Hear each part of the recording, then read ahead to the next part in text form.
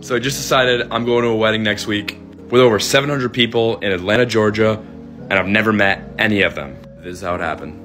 So as many of you know, I was a real estate agent for a number of years. I now work on another side of real estate, but I met a lot of cool people being a real estate agent.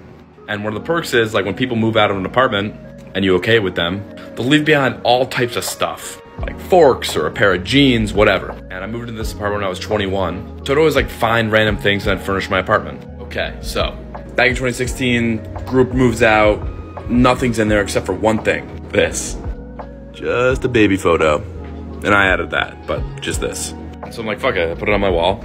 And anytime someone would come to my apartment, make up some like ridiculous story. Like, oh, that's Derek Jeter, or that's my older brother who passed away. Just like something ridiculous and get the recording on camera. And I was a little more hinge back there on Instagram, so I put it on my Instagram story. Got like a little bit of a following. And eventually one day I got a message request. This was years ago. And it was one of the guys I rented an apartment to. I forgot that we connected on social. And he's like, hey, my friend Bennett uh, is wondering why you have his baby picture in your apartment. And I had never met the guy. Bennett gets in touch with me. And I'm, I'm being a shithead, right? He's like, hey, can I have that back? Blah, blah, blah. I'm like, nah, this is mine.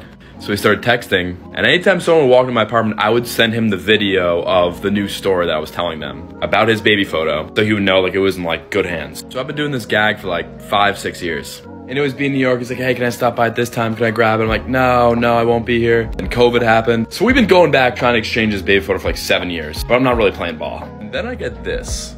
You can pause the video if you want to read it. I'll also provide an explanation.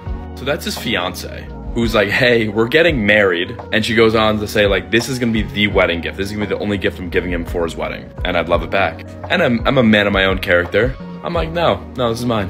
But if I get a wedding invite plus a plus one, I will come to your wedding and present this as the gift to your new husband in front of 700 people. So this is their wedding going next week. I think the websites, they even have a website, juliaandbennett.com in Lake Okeechobee, Georgia. Fall for part two.